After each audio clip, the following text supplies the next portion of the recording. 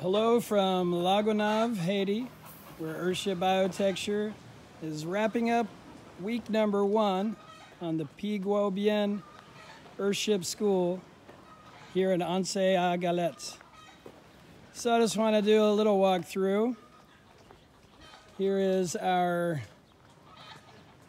rebar dome that Mo and team has been working on this week.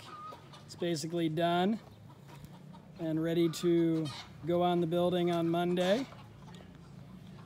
Uh, panning across, you can see this is hut one, where we focus most our energy this week.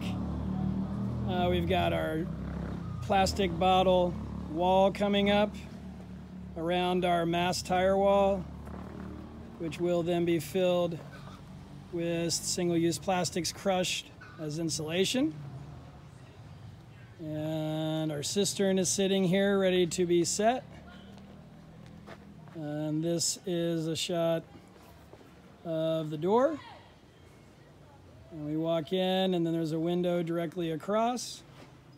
And now we're inside a 20 foot diameter circle of tires that we call a hut.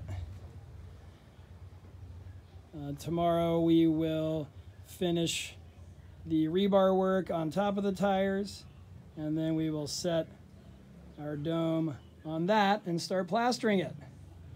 So we've had a real successful week one and we will keep you updated. Thank you for all your support.